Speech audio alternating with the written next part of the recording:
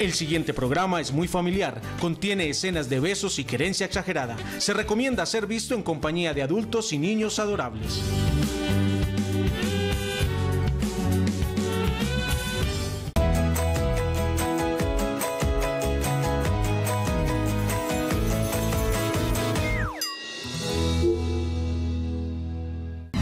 Nos unimos en un arrullo para abrir juntos un camino. Yo te ayudo a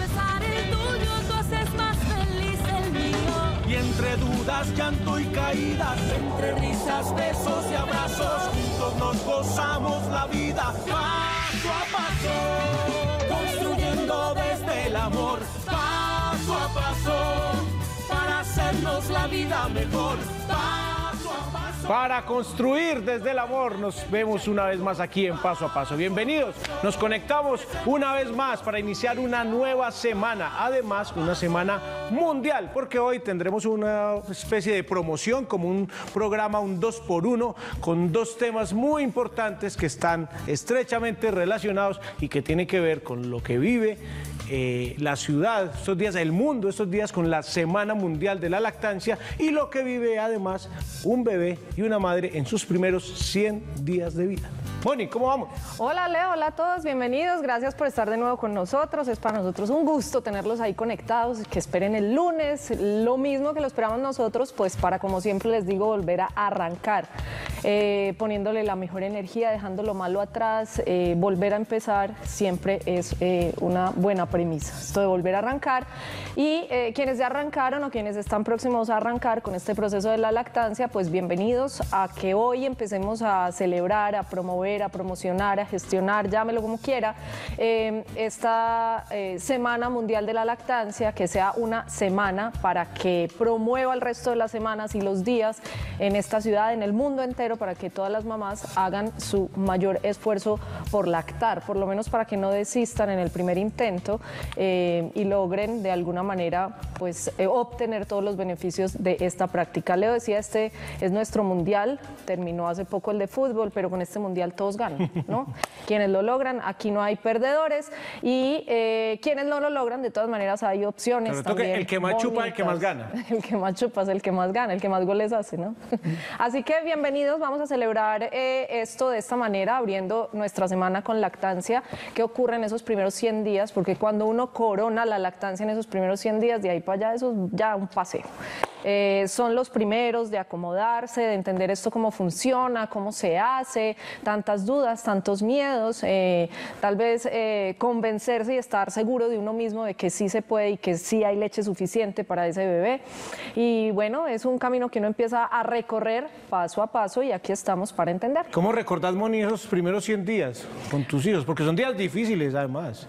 Son días Felices, como de, de muchos a mí no me contrastes. tan duro, pero tal vez por mi personalidad, pues yo soy Sí. relajada y para las que sea, pero recuerdo eh, particularmente con el tema de la lactancia, con mi primer hijo, nunca me puse una meta, de, ah, voy a lactar tanto, no, traía una historia de mi mamá de muchos años de lactancia, pero no me puse una meta y cuando empecé de pronto dije, ¡Ah! llevo un mes, ¿qué es todo esto? Y luego dije, dos, no, ¿qué es todo esto? Tres, cuatro, cinco, seis, y bueno, eso se fue largo, genial, y lo disfruté mucho. Y ya con la segunda tenía la duda y le preguntaba a mi mamá, ve, si a uno le va bien con el primero, le, le irá Con el bien con segundo el es segundo. igual. Pues entonces nada, eh, empezamos y ahí sí dije, bueno, vamos hasta los dos años y, y listo, y fue bonito y se disfrutó y también se me hizo muy corto y no. Lo pregunto por eso, porque son días para algunas eh, complicados, de muchos contrastes, cambios de estado de ánimo, pero sin duda maravillosos para todos, tanto para la madre, la familia, como para el bebé. ¿Cómo los han vivido ustedes? ¿Cómo esperan vivirlos? Si están esperando ya el parto, llámenos al 268-6033 y compartan con nosotros todas sus inquietudes, sus experiencias. Además, porque hoy tenemos una experta que sabemos que les encanta. que ustedes Es- pidieron. Atentamente Así ahí. que muy quieticos ahí, porque estaremos con ella en unos minutos, luego de irnos como siempre al video. Este habla de un periodo un poco más largo, lo tratamos hace poco en nuestro programa, esos primeros mil días y la importancia de ellos. Hoy nos vamos a concentrar en los 100 primeros, que son como los tres primeros meses eh, de adaptación, pero vale la pena mirar eh, esto de una manera global para irse uno adaptando, como ya les decíamos, paso a paso. Aquí está el video, ya volvemos. Y sin duda, para que esos mil días del bebé sean exitosos, pues eh, primero hay que atender muy bien los primeros 100. Sí, por supuesto. Por supuesto. Y eh, lo importante que tengamos en cuenta es que, claro, hay múltiples beneficios para el hijo de uno, para uno, para la familia de uno, pero como estábamos viendo, este tema tiene una trascendencia enorme en el tema de salud pública y está en nuestras manos una responsabilidad muy grande para con las futuras generaciones, no con, solo con los de nosotros. Esto es en general lo que estamos construyendo de aquí en adelante, porque esos otros niños seguramente serán amigos, compañeros, vecinos de los hijos de nosotros y esto es, de nuevo, entre todos. Hoy hablamos de los primeros 100 días, comenzamos a celebrar esta Semana Mundial de la Lactancia. Aquí está nuestra experta.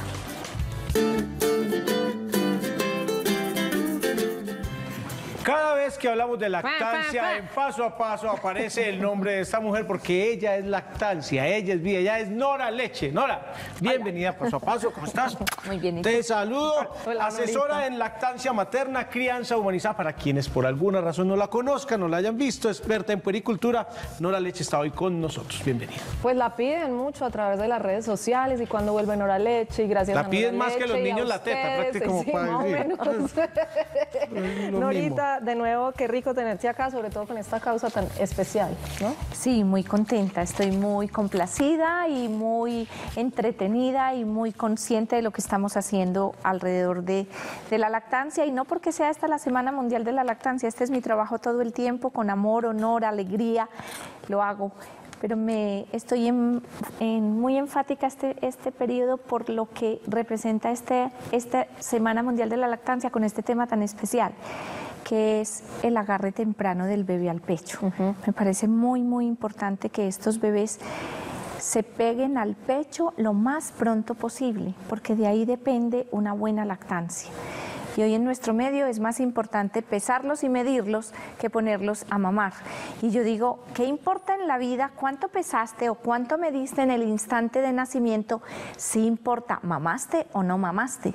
Y muchas lactancias se salvan si hay un agarre temprano de ese bebé al pecho. Y muchas no se hacen porque primero lo pesan, lo visten, lo visten como un astronauta y se lo entregan ya a la mamá y a los tres segundos el bebé ya está dormido porque entra en una gran somnolencia y eso les justifica meterle una leche de fórmula y esa invalida la lactancia. Las mamás estamos en todo nuestro derecho tal vez de exigir ese momento, cómo debería darse, eh, cómo debería hacerse, además deberíamos llevar el bebé en el instante en que nos lo entregan al pecho, el bebé debe ir al pecho, ¿cómo funciona ese momento especial?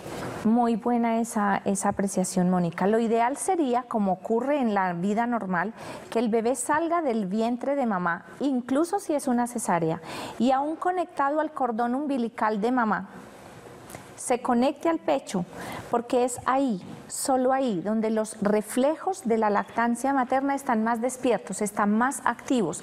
El bebé solo ahí, si yo lo dejara solo, es capaz de encontrar el pecho y mamar por sí mismo. Si yo lo dejo ahí, es perfecto. Si ese bebé se tarda mucho tiempo en llevarlo al pecho, el bebé se le mimetizan los reflejos de la succión y nos cuesta luego volvérselos a despertar.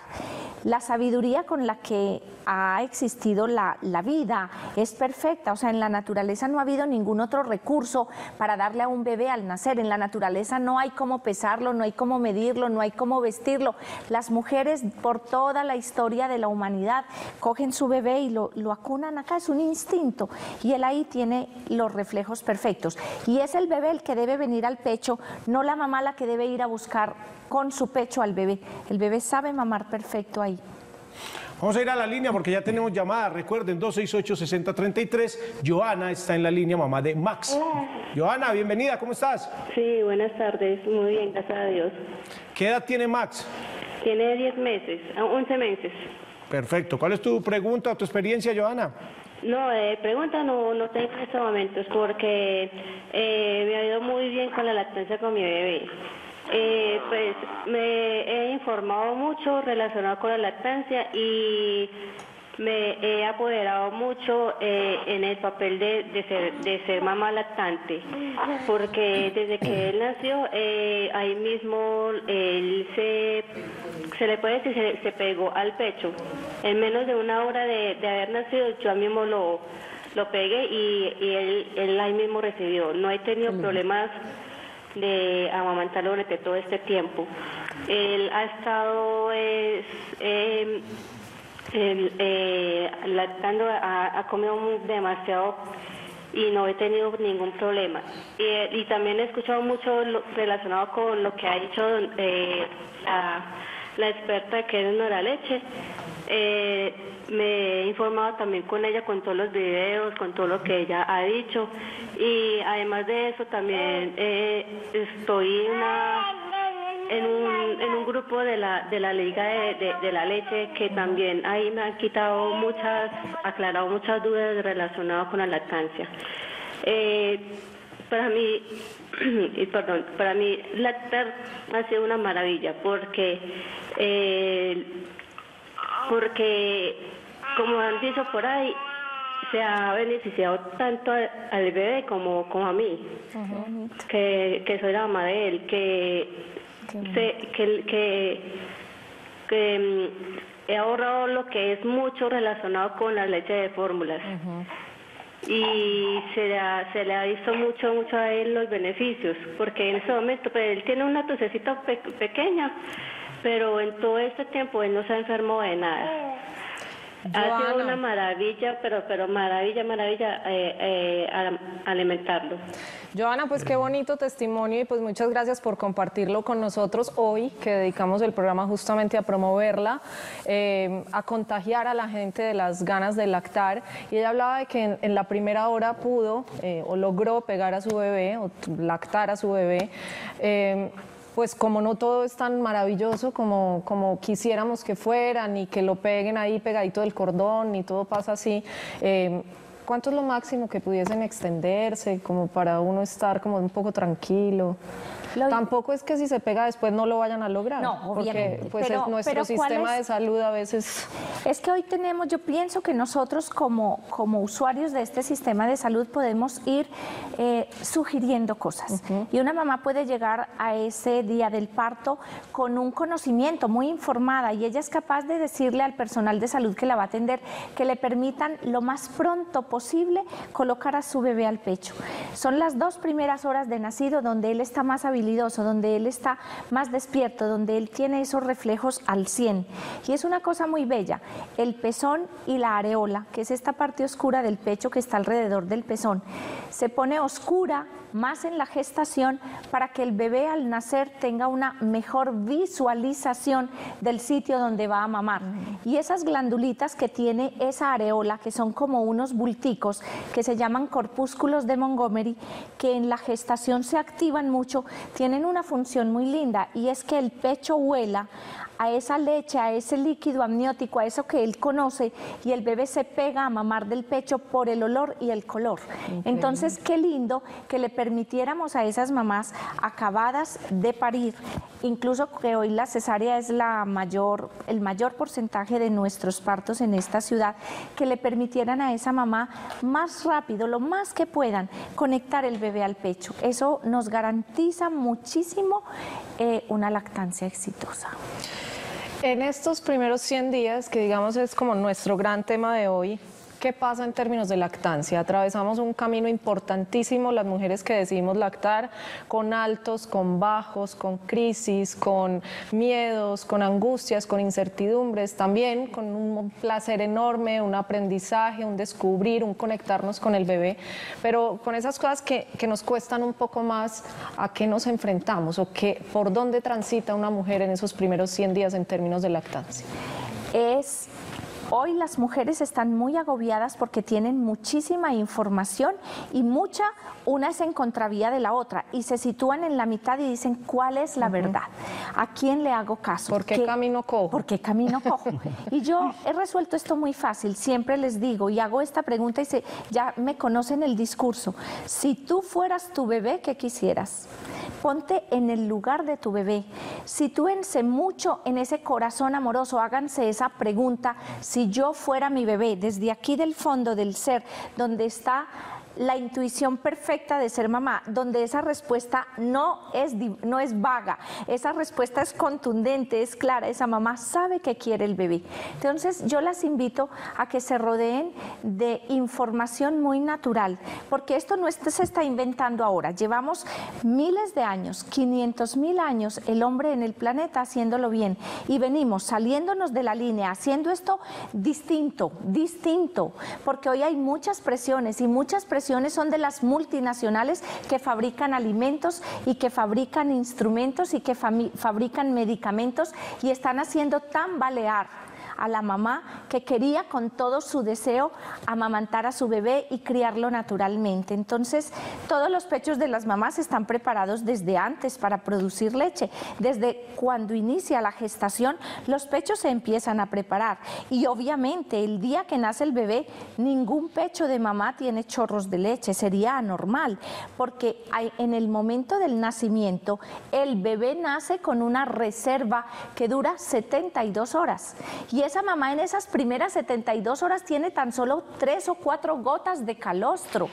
Ahí quiero hacer un paréntesis porque ahora decíamos, no, lo máximo que debemos esperar o tratar de que eh, pase máximo ese tiempo antes de que el bebé se le pegue al pecho son dos horas, pero no es porque se vaya a morir de hambre. Exacto. Qué buena, qué buena ayuda, Mónica. No es que el bebé tenga hambre, es el bebé el que necesita conectarse con mamá para aprender de dónde se va a alimentar luego que haya pasado este primer instante del parto y que vayan transcurriendo las 72 primeras horas. Marcarle su territorio también. Sí, sí, porque él lo han, lo han sacado del vientre donde él estaba confortable y donde él estaba amorosamente conectado con mamá.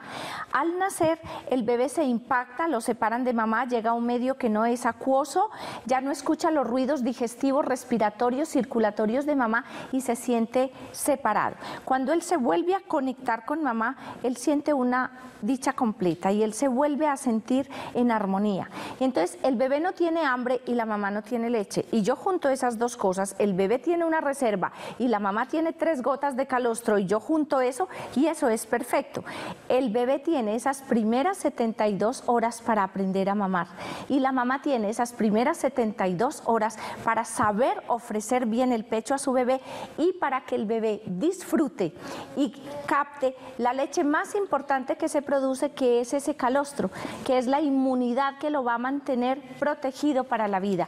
Es muy importante eso y las mamás deberían tener esa claridad y no caer en la trampa de darle biberón al bebé desde la clínica porque eso no hace falta. Obviamente estoy hablando de condiciones normales, ¿cierto? Hay casos específicos donde sí hay que hacerlo. regla tiene su excepción, como dicen por ahí. Totalmente. Antes de irnos al corte, quisiera, ya que estamos hablando de ponernos en el lugar del el bebé, me voy a poner yo en los zapatos de Leo. ¿Qué papel juega el papá? Qué bien, el papá es un coequipero, el papá es el copiloto de este proceso. El papá es el que va a estar pendiente acomodando bien al bebé en el regazo de mamá, acomodando bien a mamá con relación al bebé, teniendo la precaución que si el parto ha sido por cesárea, mamá va a estar adolorida, que él es el que le, le pasa un poco de líquido, el que la está mimando, el que está propiciando que el ambiente no esté muy caluroso, porque hoy están teniendo los bebés demasiado abrigados y cuando los abrigan tanto, los pegan al pecho, pegan dos mamaditas y quedan dormidos. Y entonces a los 10 minutos que el bebé se tomó dos gotas y se le digieren las dos gotas, vuelve a querer mamar y es porque los tienen muy abrigados. Y esos papás son los que tienen mayor conocimiento de la temperatura que tiene el bebé. Hoy creemos que vivimos en una ciudad donde cae nieve y estos niños son vestidos con ropa térmica. Yo me aterro de esto porque son son, totalmente acalorados. Nora, me nació súper sudoroso el bebé. No, y es que voy a ver y está vestido como un astronauta. Y con dos cobijas encima. Con dos cobijas encima, entonces el bebé así no puede despertar para comer. Muy bien, pues ese es nuestro tema de hoy, una, como siempre, magnífica introducción. Tema es lo que nos falta aquí en Paso a Paso. Nos vamos a ir al corte, ya volvemos. Vamos con la frase, Moni. A la pausa, esa frase que nos dice hoy lo siguiente. Los padres, para ser felices, tienen que dar, dar siempre. Esto es lo que hace un padre, de, de Balzac.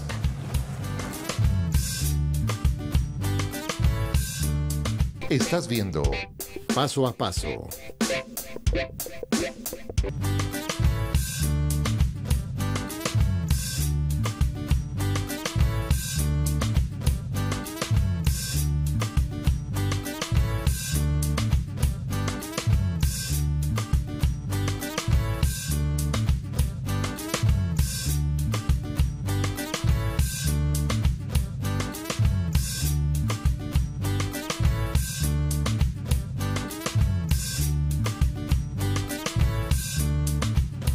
Celeste, que creo que ya va llegando a los mil días, o ya pasó por ahí, Jacobo, que va en el día 18 de sus 100, de los que hablamos hoy, están en nuestro Mamarazzi de paso a paso. La importancia de esos primeros 100 días. Recuerda enviar sus videos y fotografías a paso a paso las grandes citas pequeñitas para que compartamos esos momentos felices. ¿Qué esperar en esos 100 días? ¿Qué hay que tener en cuenta? ¿Qué saber como padres primerizos, que sabemos que muchos están ahí atentos? ¿Qué hacer con el bebé, con la pareja? Voy a insistir, porque yo ya, digamos, recorrí ese camino. Y cuando uno es nuevo y cuando no, vuelve y repite las angustias. Uno Sí. cree que la leche no alcanza, que no sale, que queda con hambre, eh, que hay que complementar, eh, cuánto estará saliendo. Y entonces va y coge un extractor para medir cuánto se está tomando. eh, y eso pasa en esos primeros 100 días. Yo creo que es ese periodo crítico. ¿Qué, qué, qué es lo que pasa en términos de esa incertidumbre? ¿Y qué tenemos que tener claro? Tenemos que tener claro que todas las mujeres del mundo, como todos los mamíferos del mundo, producimos leche. Si yo hoy tengo grupos de mujeres adoptivas produciendo leche, si yo tengo hoy grupo de mujeres que adoptan un vientre y, lo, y la otra mujer gestó el bebé y viene y amamantan, es porque eso es una realidad. Ninguna bisabuela nuestra tenía otra opción para darle al bebé y tenía que amamantarlo. Creo que hoy tenemos demasiada angustia pensando que esto funciona diferente, que, que hay que hacer cosas extrañas para producir leche. No Pero entonces ahí quiero hacer una claridad para tranquilidad de muchas. Todos los cuerpos, eh, una muy baja excepción, están preparados para lactar y para dar leche. Hay muchos que no pueden darla por factores externos, ejemplo el estrés, la angustia, la cantidad de ocupaciones, los problemas, un embarazo tortuoso lleno de inconvenientes, de, de- de razones para no desear ese embarazo, por ejemplo, eso sí puede hacer que las madres no logren lactar. Es que ese es el, ese es el mayor estrés que tienen las mamás hoy de producir leche y el mismo estrés que tienen las invalida para producir leche.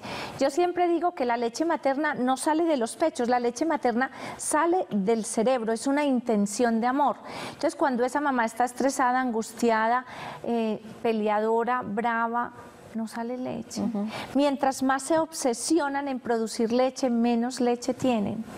Querer controlarlo, que me quiero sacar la leche para saber cuánto estoy produciendo. Y eso, ¿para qué es importante? Sí tenemos que saber que el bebé sí esté comiendo bien, porque un bebé que come bien queda tranquilo, un bebé que come bien queda eh, suelta el pecho solo. Un bebé que come bien duerme un rato, mínimo media hora, una hora entre una mamada y otra. Un bebé que come bien aumenta de peso. Un bebé que come bien hace popó. Un bebé que come bien orina también. Entonces esas son claves que nos deben dejar tranquilos, pero como hoy todo lo queremos estructurado, con fecha, con horario, entonces el bebé tiene que comer un una onza de peso, una onza de leche por kilogramo de peso cada tres horas. Y se van a esto y esto se vuelve un estrés. Y resulta que pegado en el pecho puede comer cuatro onzas por kilogramo de peso y no pasó nada. Un estrés sobre todo para los papás, que es a los que nos toca después ir haciendo el banco de leche y tener todas las medidas, pues a ver cómo empacamos las porciones, pero eso lo hablamos enseguida. Pero más que el banco les toca ir ahorrando en el banco para comprar leche de fórmula porque la leche no sale del estrés. Ahorrar y hacer banco. Vamos a la línea porque está Olga en la línea, mamá de En Espera de Amalia. Olga, bienvenida, ¿cómo estás? Hola Leo, ¿cómo estás? Bien, Olga. Espera de Amalia, ¿cuánto tienes? ¿Cuánto falta porque llegue Amalia? Tengo 21 semanas. Muy bien, ¿y cuál Falta es tu inquietud? todavía. falta, falta. Eh, no, quiero saber, lo que pasa es que mucha gente me ha dicho que desde ya pues debo empezar a estimular el seno para producir la leche, pero también he leído que no es tan chévere ni es como recomendable hacer eso, entonces quiero saber qué tan cierto o qué tan falso es.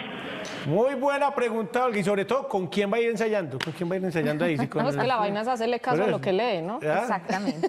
Porque es que esto es- Les digo que lean menos, que lean menos. No hemos visto ninguna hembra en el planeta estimulándose los pechos o las ubres o las mamas cuando no han- están, están en gestación. Unos pechos de mamá en gestación no hay que hacerle nada para saber si va a tener leche la leche está ahí.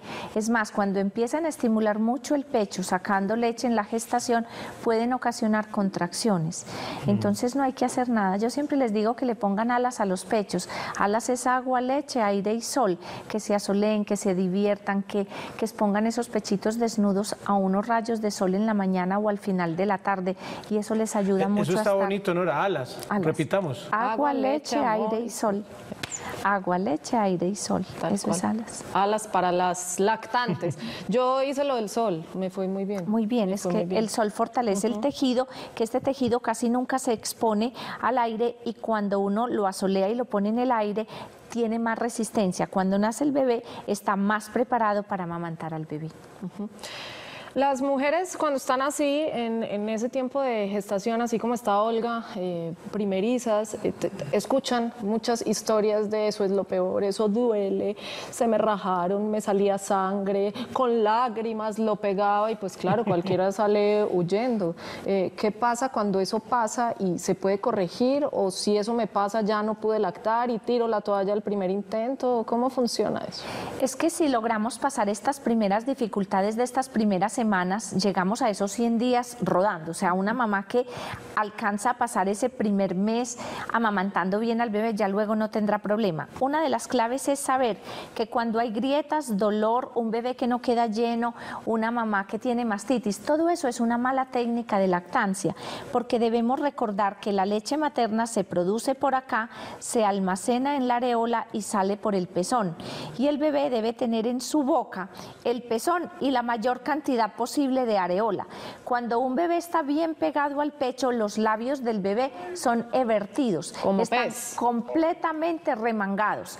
Entonces es siempre la mamá la que con su pecho, nunca cojan el pecho así, porque cuando cogen el pecho así, el bebé va a quedar pegado únicamente de la punta. Cuando la mamá amamanta con el pecho cogiendo el pecho por fuera y estimula la boca del bebé con el la punta del pezón y le dice al bebé que abra la boca. Cuando ese bebé abra la boca, ella trae el bebé al pecho.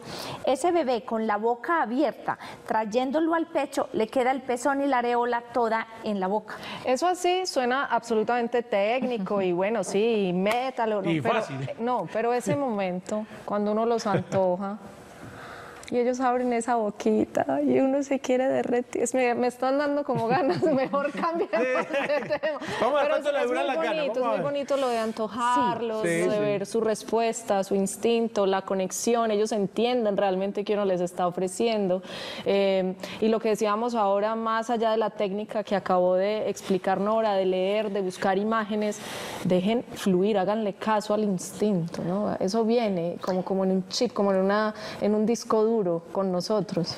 Eso lo digo siempre y yo siempre le digo a las mamás, si hoy fueras una campesina en una vereda aislada de la comunicación, ¿qué estarías haciendo? ¿Qué leche le estarías dando a tu bebé? ¿Cuántas dudas tendrías de si produces o no produces?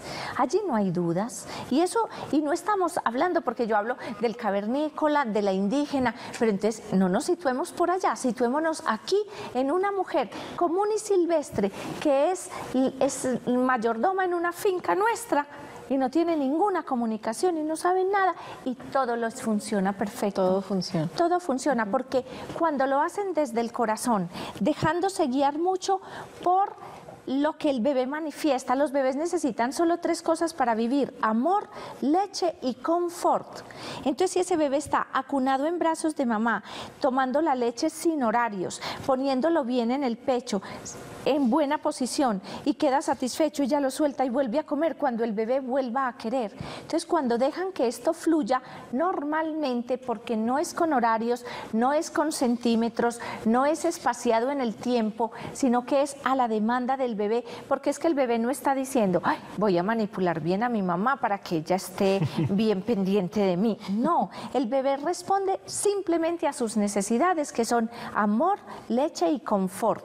Cuando lo tienen tienen en brazos acunado y él tiene hambre, él ahí mismo con su boquita muestra y mueve la boquita hacia diferentes sitios y eso es buscando leche. Entonces hay veces me dicen, Nora, es que lo acabé de soltar del pecho y siguió buscando. Entonces tiene más hambre. No, es que lo amamanté dos horas y quedó con hambre. Entonces no, no lo estás pegando bien o no hay leche suficiente para pegarlo. Nadie mama dos horas. O se quedó dormido, vestido como un astronauta, entonces durmió 45 minutos y mamó otro ratico. Entonces ese bebé no está comiendo bien. Guíense mucho leyendo lo que ese bebé les está comunicando. Eso pasa aquí y en la costa. Totalmente. Amor, leche y confort, conforme lo va pegando. Marta está en el Cartagena, mamá de Sofía. Marta, bienvenida, ¿cómo vas? Hola, muy bien, gracias. ¿Qué edad tiene Sofía? Eh, Sofi tiene 15 meses. Perfecto, ¿y cuál es tu inquietud, Marta? Te escuchamos. Bueno, Sofi actualmente eh, aún toma su seno, pero quiere exclusivamente seno. O sea, con la alimentación complementaria me ha ido bastante regular. ¿Cu- ¿Cuánto dijiste que tiene Sofía? 15 meses. 15 15 meses. meses. Ujú. Eso vienen siendo dos, dos- un año y año tres y tres meses. meses. Dos Ok. años, tres meses, exactamente. Tres meses. Ok, Marta, muchas gracias. Nora.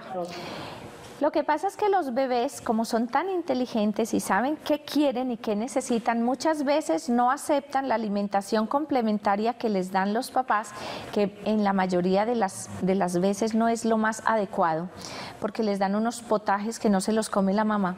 Entonces, si no se los come la mamá, menos se los va a comer el bebé. Entonces, ese bebé prefiere el alimento de máxima calidad, que es la leche de mamá. No hay un alimento que sustituya la leche de mamá.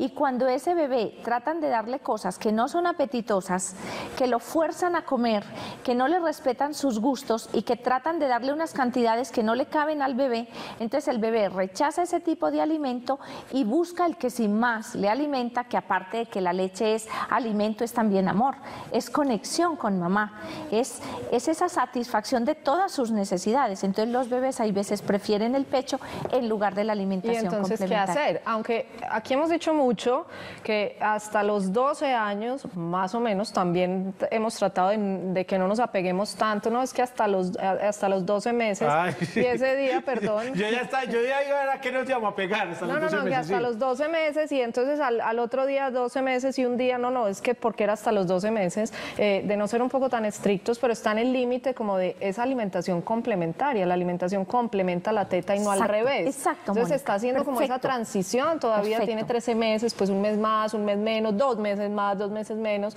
mientras él entiende que tiene que eh, abandonar su sistema primario de alimentación que ha tenido durante estos eh, 13 meses, 15 meses, eh, pues ahí va, como asimilando la cosa. Perfecto. La leche materna es el mejor alimento para los bebés. De cero meses a seis meses es el 100% de la alimentación. De seis meses a un año es el 75%. Y hoy muchas veces les quitan el 75% de la leche para darles 75% de otros alimentos que no los nutren tanto. De un año a dos, la leche materna debería ser el 50% de lo que ese bebé toma. Entonces, no nos angustiemos, miremos que ellos son sabios, ellos saben qué necesitan. Muchas veces bebés que tienen propensión a hacer alergias se quitan un poco de la alimentación complementaria y se devuelven más al pecho como para fortalecer su aparato inmunológico, su aparato digestivo con la leche de mamá. Yo no estaría angustiada, yo con esta mamá hablaría como cómo lo está haciendo también, porque hay veces no respetamos la individualidad del bebé. Y hoy queremos que todos los bebés coman lo mismo el mismo día, a la misma hora, crezcan lo mismo, tengan diente el mismo día es como producir una sociedad en serie y tenemos un individuo. Individuo quiere decir individual, irrepetible, único. Asistan mucho como al, al sentido de ese bebé que él sabe qué quiere y qué necesita. Es tiempo de hacer otra pausa, nos vamos a ir con un video hermoso que yo creo que resume todo lo que estamos hablando, eh, además muy en el lenguaje de Nora, de no, con ningún mamífero, los a- mamíferos y los cavernícolas y no sé qué, pero tiene toda la razón. Eh, y después de este video volvemos con otra experta, voy a invitar a Nora que se quede porque creo que se pueden complementar muy bien, porque queremos hablar también de qué hace esta ciudad para promover la lactancia materna, aquellas madres que no tienen acceso a una asesoría con una experta en lactancia, cómo pueden ayudarse, dónde pueden encontrar información confiable, eh, cómo pueden eh, tener compañía en este proceso que no es fácil, pero no es imposible. Y cuando uno le coge el tiro, eso se va derecho. Nos vamos a la pausa, aquí está el video y ya volvemos. Estás viendo Paso a Paso.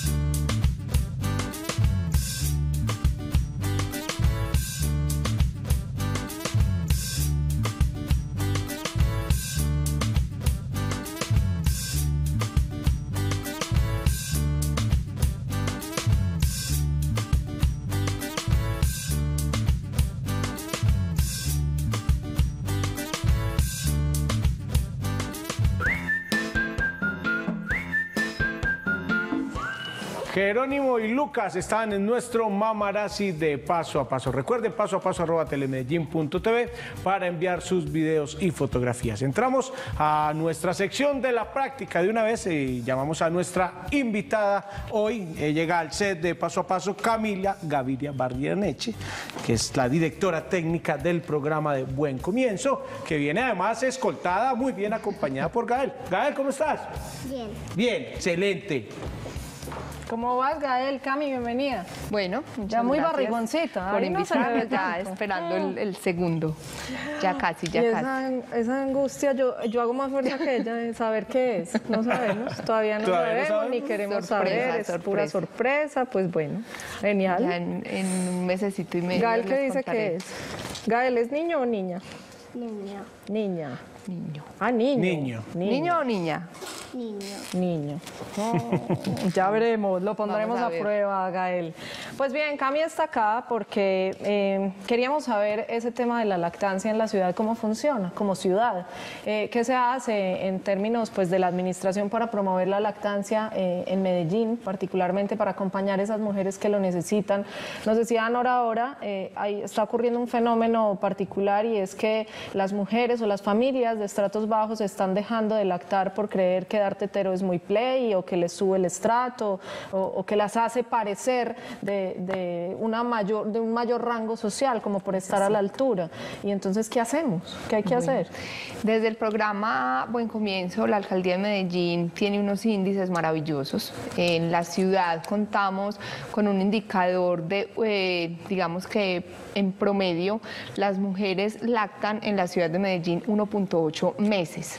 Y las personas que hacen parte del programa Buen Comienzo tienen un promedio de 4.4 meses. Es decir, que hacer parte del programa empodera mucho más a esas familias y nos, de- nos hemos dado cuenta pues que realmente sí se está logrando esa transformación. Que sigue siendo bajito y sigue significando un reto, que es lo importante. Sí, la idea y nosotros desde el programa promovemos pues que esa lactancia exclusiva sea esos primeros seis meses, pero como ustedes lo hablaban ahorita al comienzo, una vez ese bebé está recién nacido y se le da una gota de leche artificial, ya se rompe la exclusividad. Entonces, ese empoderamiento de esas mamás es lo que busca el programa y promueve con nuestras eh, más de 9 mil madres que estamos acompañando este 2018 y familias, pues de que realmente lo mejor para sus hijos es la lactancia materna. Entonces, desde, bueno, pues desde el programa promovemos y acompañamos a las familias en gestación, acompañándolas y contándoles los beneficios y la importancia que tiene la lactancia materna y empoderándolas sobre ese momento del parto y cómo también exigir sus derechos, ¿cierto? Cómo inmediatamente pedimos que nos entreguen al niño,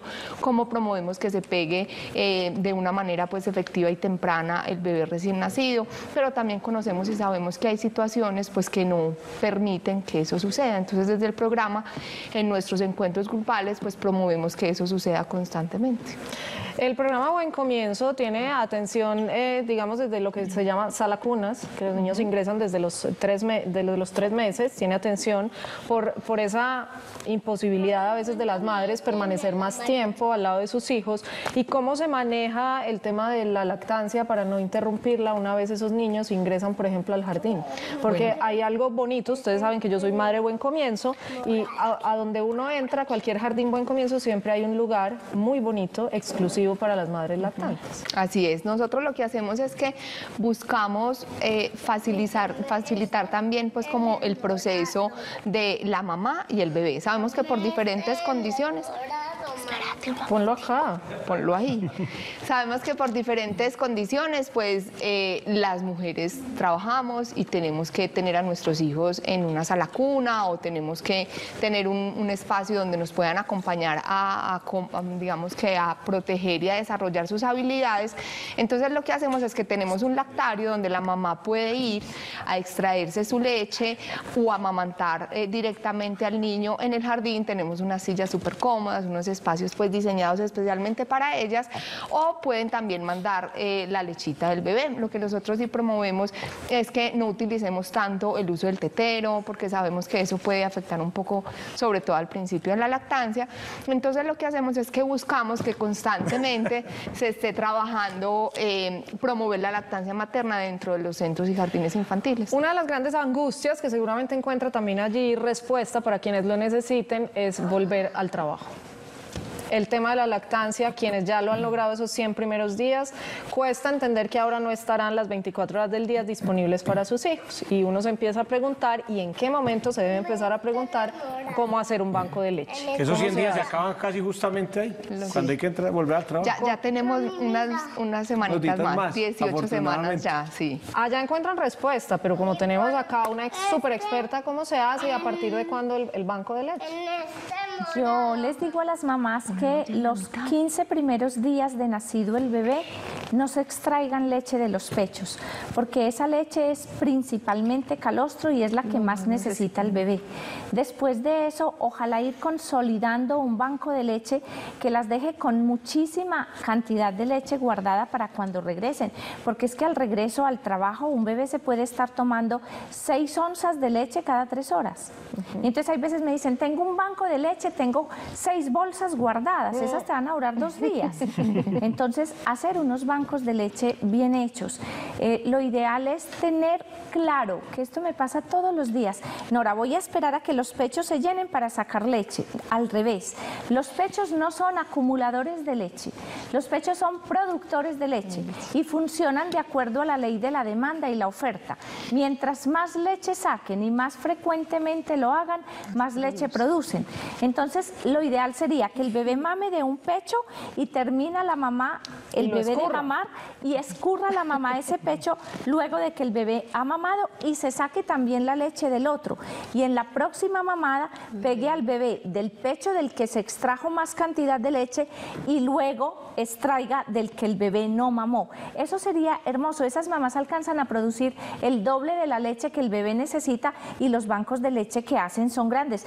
Yo les propongo, ojalá 100 bolsas de 10 onzas cada una antes de volver al trabajo. Ese es ¿Cuántas, un cuántas? 100. Estoy hablando de mil onzas de leche. Aquí hay que va. comprar otra nevera o pedir al, al vecino permiso ahí para que le deje guardar a uno. No, las guarda bien, Las No, bien ahí lo que va uno guardaditas. entendiendo es porque llama banco. O sea, Banco. ese, ese reto de ahorro es es- complejo. Es, es una belleza. Es, Es, una es belleza. retador, pero es una tranquilidad Es una absoluta tranquilidad. para volver a trabajar. Y esas acuerdo. mamás cuando miran esa nevera llena, eso les da Un una alegría, un orgullo. No, y uno. ¿Te imaginas lo que se ahorra el papá? De María, por Dios. Ese papá se ahorra un montón de dinero. Cami, ¿cómo está esta ciudad en términos de hacer un poco respetar eh, las nuevas leyes promotoras de lactancia, que todas las empresas deben tener un lugar apto para que las mamás puedan amamantar a sus bebés, en fin? Bueno, hemos venido incursionando pues con la nueva ley donde las empresas por una cantidad de empleados deben tener eh, su espacio no solo para extraerse, sino también para almacenar la leche. Digamos que hemos venido avanzando, hemos venido avanzando, hemos asesorado muchas empresas en ese campo, que eso es importante porque nos demuestra que realmente quieren hacerlo y están comprometidos, digamos, en ese proceso. Nosotros en la alcaldía tenemos un espacio diseñado para los niños que es jardín infantil y al mismo tiempo funciona como lactario, ¿cierto? Entonces, eh, tenemos ya el ejemplo de que en la empresa podemos ir a mostrar cómo funciona y hay muchas empresas muy interesadas que ya lo tienen y no solo porque haya que cumplirlo por ley, sino porque se dan cuenta que la mamá está más tranquila, que rinde más en el trabajo, que no se ausenta tanto, porque también le da esa tranquilidad de que puede tener su espacio. Eh, y efectivamente, pues si no está diseñado el espacio para para, para esa extracción de leche, pues lo que se puede hacer es que uno en su espacio de trabajo pueda organizar una oficinita donde se puedan de pronto eh, eh, guardar bajo llave pues mientras se hacen la extracción y buscar la nevera pues para, para el almacenamiento. ¿Cómo estamos en esta ciudad, Nora, en, en tu quehacer diario, en términos de, de- de lactar en público, por ejemplo? ¿Nos cohibimos mucho? ¿Nos cuesta? ¿Eso afecta la lactancia? Totalmente. Y sobre todo la visión del otro que está acompañando a una mujer amamantando. O sea, Que yo siempre he dicho que le da más pena que a uno. Totalmente. Sí. Entonces los otros se sienten más avergonzados y yo siempre digo, nos falta más naturalidad, nos falta más preservar la vida del bebé. Y estamos acostumbrados en una ciudad donde hay un tributo alto a la estética. Nos estamos acostumbrados a ver unos pechos desnudos por un escote muy pronunciado y nos parece inculto un bebé mamando al pecho. Yo creo que podemos ir empezando a desmitificar eso y aplaudir a esa mujer que un día se, se atreve a sacar su pecho y a amamantar en público. A mí me parece que en otras culturas uno va a Argentina y las mujeres exhiben su pecho allá. Y no es en Argentina, vamos a la costa nuestra y las mujeres ofrecen el pecho en público con toda esa tranquilidad tan bonito. Tenemos que aprender como adultos a mirar el pecho como un objeto de alimentación para el bebé y no simplemente como algo inculto. Tan ¿Cómo natural como el video que vimos. Sí, Sí. muy bonito, muy natural, pues nada, nada que ocultar. ¿Cómo hace una mujer para ser parte de este programa de Buen Comienzo? Hemos hablado mucho, listo, ¿cómo hacen nuestros hijos para ser parte de Buen Comienzo? Pero cuando es la mamá la que quiere hacer parte antes de que su hijo nazca, prepararse, tener toda esta información eh, de la mano de los recursos públicos, ¿cómo se hace? Bueno, nosotros motivamos que una vez esa familia se entere que está en gestación, busque al programa Buen Comienzo. Pueden encontrarnos en la página de Facebook Programa Buen Comienzo o en el 385-5555 extensión 6762 y allí les podemos contar eh, cómo hacer parte en las diferentes comunas de la ciudad de Medellín. Entonces el programa es gratuito para todas las familias sin importar las condiciones económicas. Eso es importante recordarlo porque necesitamos que todas las familias se empoderen de este proceso. Necesitamos que todas las familias sin importar su condición económica, su estrato, su vivienda, su lugar, tienen que tener acceso a esta información, de la lactancia y bueno, recordarles que el programa es gratuito y que esperamos a todas las familias gestantes y lactantes para que hagan parte del Y que programa. es más play, dar teta que no darla. Sí, sí, así es. Eso, es un orgullo Lo que hay que hacer genial. es darle play a la teta para que funcione, para que Así tal amamanten. cual. Muchísimas gracias a ambas. Las dos son unas promotoras incansables de lactancia, un símbolo de lactancia en la ciudad. Camila no solo por su cargo, sino por lo que ha hecho con Gael y por quien viene en camino. Me rehuso a saber quién es, pero ya pronto lo descubriremos. Y pues nada, seguimos conectadísimos a través de estos espacios para promover la lactancia materna. Hoy inicia la Semana Mundial. Eh, bienvenidos a ser parte de este combo. Nora, Camila, muchas gracias. Yo no sé si la, la mujer que no lacta, Moni, podría decirse que es una mala madre. Ay, no, qué horror. ¿Cierto que no? No, no, yo lo pregunto es porque ese es el tema de mañana, mañana. el síndrome de la madre. Pero la madre. muchas ¿Cuándo que aparece? no pueden lactar por. X o Y, llámelo Claro. estrés, llámelo lo que sea, eh, así se sienten y no hay razones, pero hablamos de ese síndrome de la mala madre mañana porque seguro a muchas nos ha pasado. Así Los es. esperamos a las 2 de la tarde. Chao, chao. Chao, chao.